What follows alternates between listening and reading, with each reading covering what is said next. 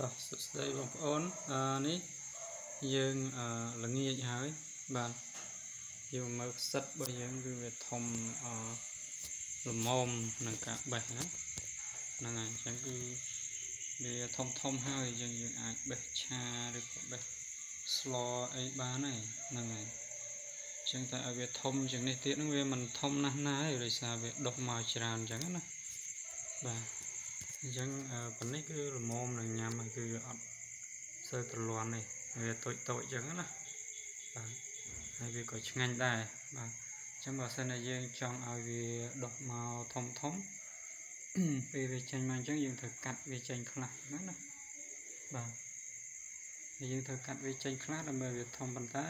បើសិនជាយើងឲ្យវាដុះទាំងអស់តាមធម្មជាតិមកក៏បានដែរមានបណ្ណាញ៉ាំប៉ុណ្ណឹងធំ តូចយ៉ាងម៉េចក៏ដោយជារបស់យើងអញ្ចឹងណាបាទហ្នឹងហើយយើងមើលប្រភេទដែលវាដោះទៅយើងមើលពីចំហៀងអញ្ចឹងក៏ស្អាតដែរណាហ្នឹងហើយអញ្ចឹងពេលយើងមើលពីចំហៀងថងអញ្ចឹងទៅគឺ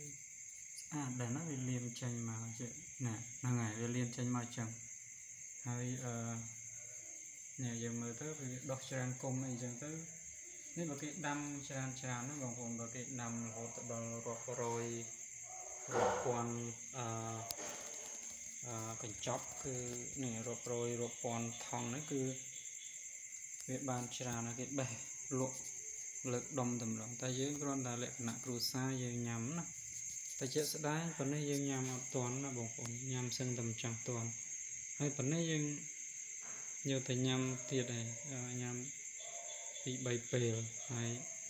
តែអញ្ចឹងទៅតែយើងញ៉ាំពី3ពេលទៅវាចាប់ផ្ដើមរៀង អឺរៀងទលាន់តិចហើយអញ្ចឹងយើងញ៉ាំអីផ្សេងសិនហើយចាំយើងមកញ៉ាំវាពេលក្រោយទៀតបាទអញ្ចឹងពេលវាធំទៅយើងបេះចែកជូនសាច់ញាតិអីដែរហ្នឹងហើយអឺអញ្ចឹងយើងយើងមើលអានេះវាធំគួរសមដែរបាទដោយសារតូចតូចដាតផ្សេងផ្សេងទៀតវាអត់ធំមកទេបាទ ហើយនេះក៏វាដុះបន្ទាប់មកទៀតហ្នឹងក៏វាល្មមគួរសមនឹងញ៉ាំដែរបាទហើយនេះវាដុះច្រើនដែរនេះណាអញ្ចឹងវាមិនសូវធំទេបាទអូខេជាងយើងមកមើលក្រមនេះទៀតហើយព្រឹកមិញខ្ញុំបង្ហាញវីដេអូមួយតូចតូចផុសចេញមកដូចអឺដូចស្អីចឹងណា ដូចកញ្ចុំអីចឹងតែឥឡូវវាវាធំហើយណាវាសឹងតែមកញ៉ាំទៅពិតញ៉ាំបានហើយប៉ុណ្ណឹងយើងមិនចាំបាច់ទៅធំណាស់ណាទៀតក៏បានដែរលក្ខណៈគ្រួសារយើងយើងញ៉ាំបានប៉ុណ្ណឹងណាបាទហ្នឹងហើយអរគុណច្រើនបាទ